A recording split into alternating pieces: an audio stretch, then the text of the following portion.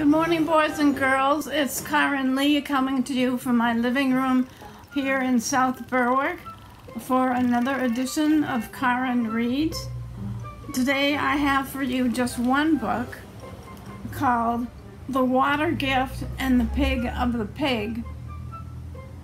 It's a Caldecott, no, I'm sorry, the annual book donation award winner. Um, it's unusual because it's both written by someone who grew up on a farm in Maine and illustrated by someone who grew up on a farm in Maine. And that second illustrator said that that's her main inspiration for drawings is her time on that farm and especially her time with pigs. And today's book is about a pig. Okay, first of all, let's talk a little bit about something called the water gift. I'll read this section at the beginning of the book.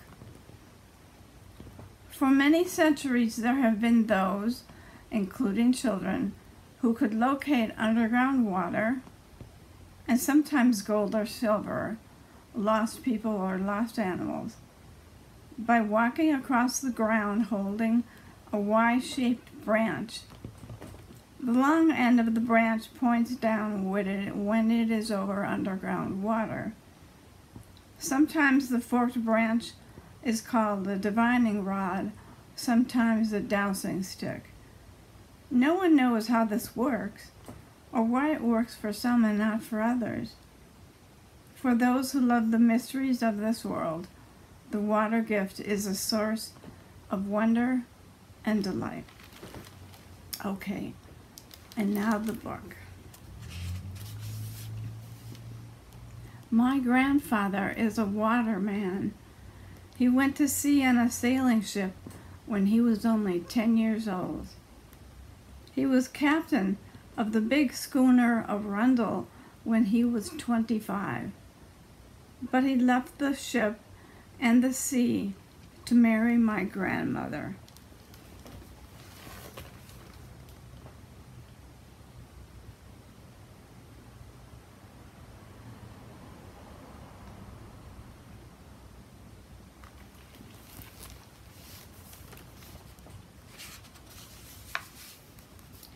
He kept a captain's coat that he still wears on rainy days. He kept schooner stories that he tells after supper. And he kept the pig that went around Cape Horn. Isabel, he'll say to me, that pig followed me like a dog. She was smart enough to smell the storm coming, and she danced with the first mate when the storm was over. Grandmother says the pig thought she was family and slept on the rug by the cook stove. She's gone now, but we have the last pig of her last letter, the pig of the pig that went around Cape Horn.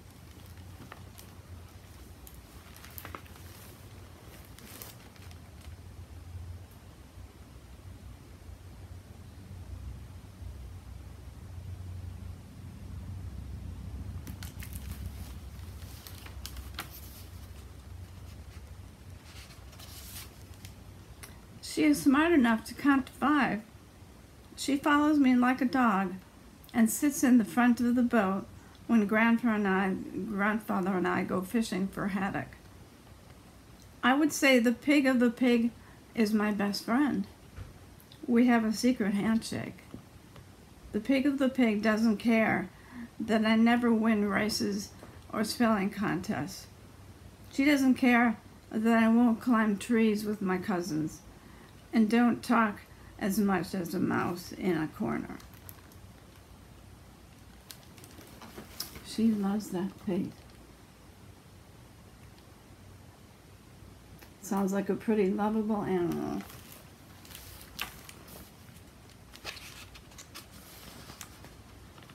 The pig and I like to go to the hundred-year tree in the lane.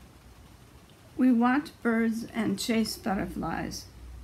She hums while I sing. I stand on the rock I call Arundel. We sail it out to sea. Do you smell a Cape Horn storm coming? I say in grandfather's voice.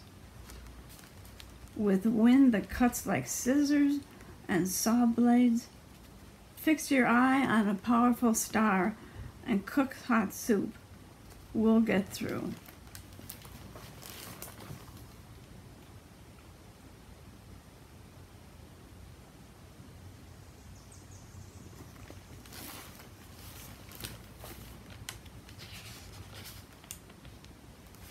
And we always go with grandfather when he works the water gift. Perhaps because he loves water so much, grandfather can find it even when it's hidden under fields and pastures. He takes a Y-shaped branch, holds the forked ends in his hands, and walks back and forth across a field. When the long end turns down, grandfather says, dig here, and there is water. Grandfather doesn't know how he finds the water, or how his friend Ezra Littlefield once found a stray cow. He just knows the stick turns down and it can't be stopped. It's a mystery. Grandfather says it's the whole earth talking.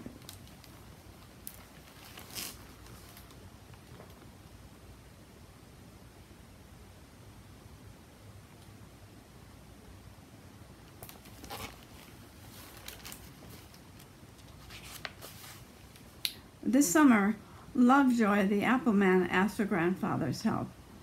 Lovejoy has plenty of trees, but his apples were stunted and wormy because they didn't get enough water in dry weather. Grandfather walked the orchard until the stick pointed down.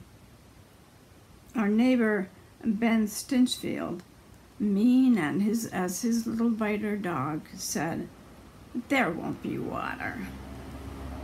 Grandfather says Ben Stinchfield doesn't believe in gifts.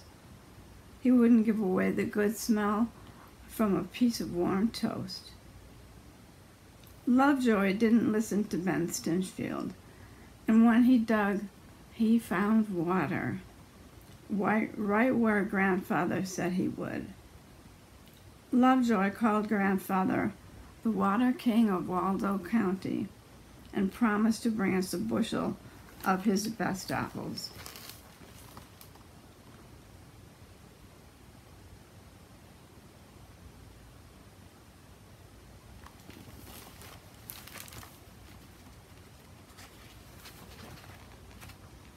Then bad luck rained down like a three-day storm. Grandfather found a well for neighbors and Ben Stinchfield laughed when the water tasted like swamp tea. Grandfather spent two days on Snell's Hill and couldn't find a drop. Worst of all, he fell off the top of a hay wagon and he hurt to walk.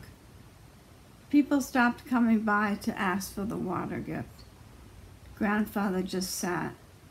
He wouldn't tell schooner stories when Lovejoy brought the bushel of apple in the falls, fall, I heard grandfather say he had lost the gift. He tossed his Y-shaped branch into the fire. After that, nothing was the same. The pig of the pig and I went to our tree, but the rock I called Arundel was just a rock. One morning I found Pig sitting in the boat waiting to fish for haddock. Not today, grandfather said. My bones are too tired. The pig of the pig stopped humming. Then came the day she didn't show up to noon dinner. Let's go find our pig, I said. She knows the way back, grandfather said. She'll come home. I went to the stone wall and saw a gap in the rocks. Perhaps she had followed a bird into Stinchfield's woods. My cousins would have searched from the top of a tree. I waited under the hundred-year tree until dark. The next day, Ben Stinchfield banged on the door. Saw, someone saw your pig in my woods, he said. If I catch her, she'll be mine. And he stomped out. Pretty terrible neighbor.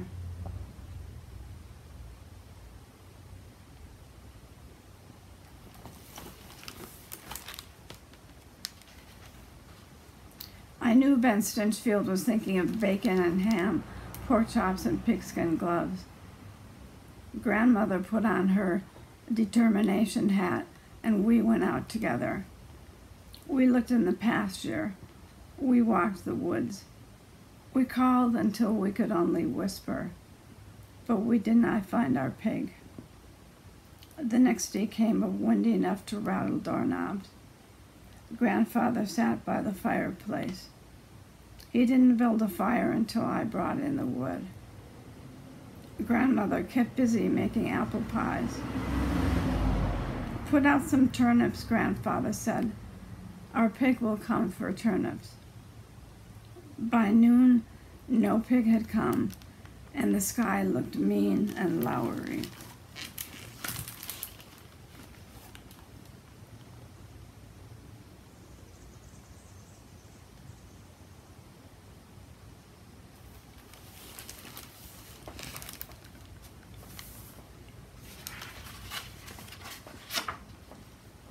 I heard Stinchfield walking in the woods and calling, Here, pig!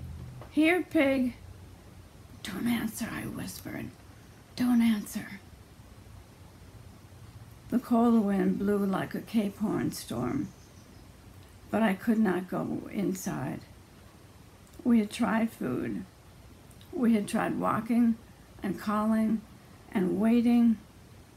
There was only one thing left to do.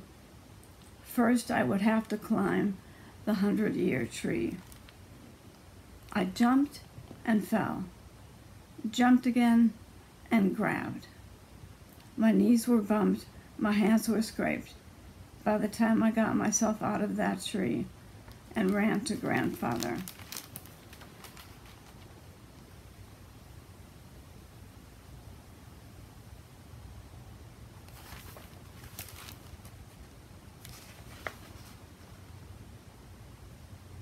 Ezra Littlefield found a cow.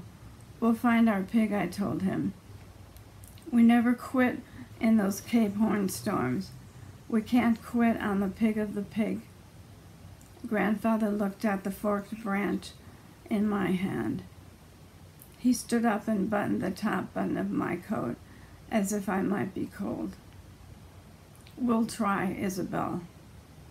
We headed toward the woods and crossed through the gap in the stone wall.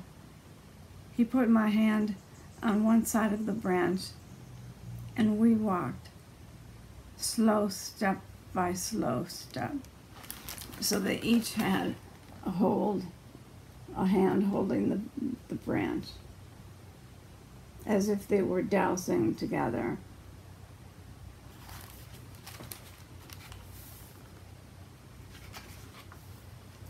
Grandfather said, Is the pig of the pig to the north?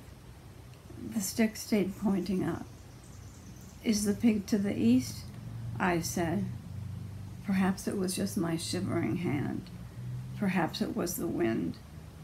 But the stick wavered. We held tight. The stick pointed down, and we turned east. We walked over rough ground past brush and boulders, and there was our pig at the far side of the woods, fallen into a hole.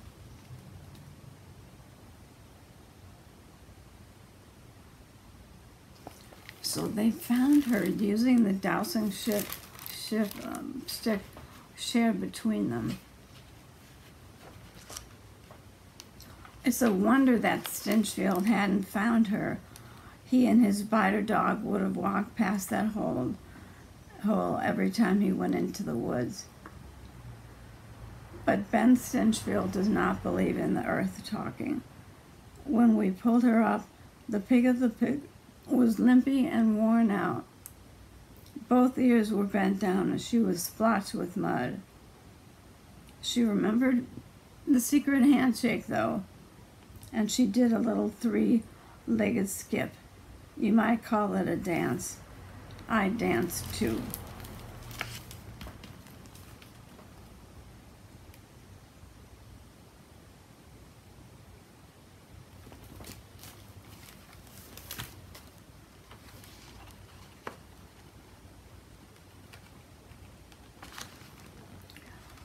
Then we went home to grandmother's kitchen for hot soup and apple pie.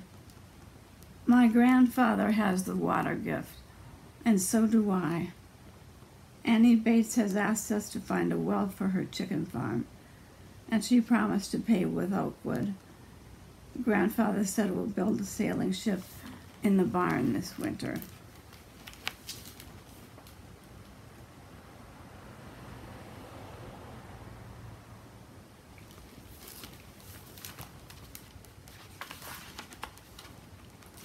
Next summer he will teach me to sail, and the pig of the pig will hum and once in a while dance her three legged dance on the deck. And I believe I forgot to tell you the names of the people who created this book. The writer, Jacqueline Briggs Martin, who grew up on a farm in Maine, and the illustrator, Linda S. Wingerter, who also grew up on a farm in Maine. Okay, a very classic Maine book today. All right, take care. Bye bye.